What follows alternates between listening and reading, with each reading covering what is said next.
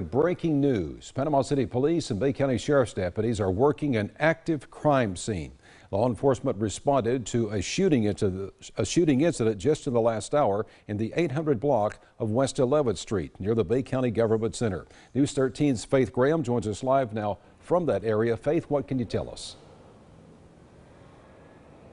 Jerry, that's right. The Bay County Sheriff's Office and the Panama City Police Department are currently on scene investigating after getting a call for shots fired. This is in the area of the Wash Depot next to the Bay County Public Library. And as you can see, this entire area is taped off with yellow crime scene tape, and there's a pretty heavy police presence. We're talking at least 20 officers back there working to figure out exactly what happened. But on the way over here, we did see this ambulance fleeing the scene with officers in tow. And at this time, law enforcement is unable to confirm whether or not there were injuries and where the shots came from, but they appear to be canvassing the area and interviewing anyone that may have more information. But 11th Street is blocked off from Jenks to Balboa. And again, this is an active scene and an ongoing investigation. We hope to have more information for you shortly. You can stick with us on air and online for the latest developments. Live in Panama City, Faith Graham, News 13, Panhandle Strong.